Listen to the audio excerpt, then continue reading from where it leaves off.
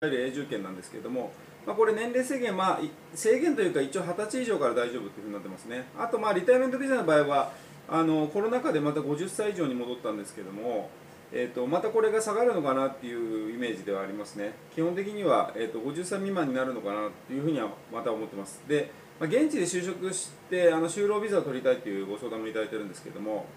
まあ、就労ビザについては現地採用の場合もですね現地の会社が用意してくれるのであんまりあなたがやることはないかなと思います。